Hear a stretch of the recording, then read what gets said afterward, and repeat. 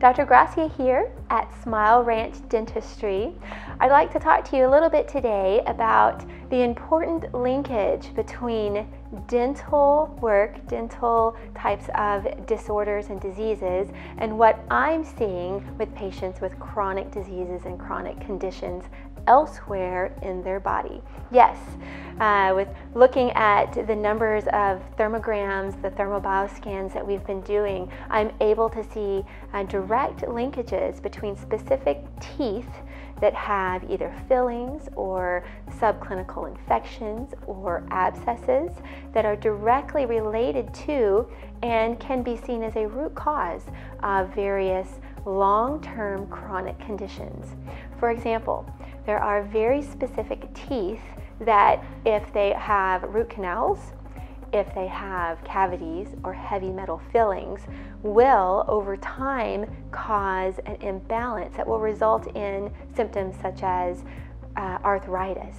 I have many rheumatoid arthritis patients who thought that they would have to live with these symptoms for uh, you know the rest of their life and in actuality the root cause was found to be coming from a specific tooth or an area uh, in the teeth once we are able to identify what that root cause is, we can bring balance back to the teeth, back to the dental area, and then the body can go through a healing process that will resolve the symptoms such as rheumatoid arthritis.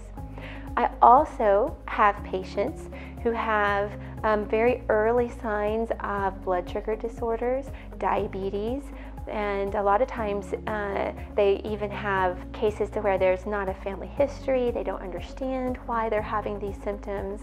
And looking further into the thermogram, the thermal bioscan, we can find very specific teeth that are the root cause to these types of disorders. So, diabetes is an endocrine disorder. Uh, that's something that has been shown in scientific studies to be directly related to dental health. Another very important chronic disorder that has been shown very strongly related to dental health is heart disease. High blood pressure, uh, later on developing into symptoms of stroke, which is more severe, have all been tied back to very specific teeth and root canals.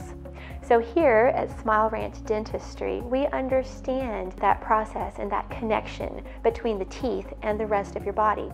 I encourage you as a patient to share your symptoms, your concerns, your medical history as a critical part of your dental history because we'll be able to take that incorporate it and then come up with some wonderful recommendations uh, to help alleviate symptoms, to help your body go through the healing process.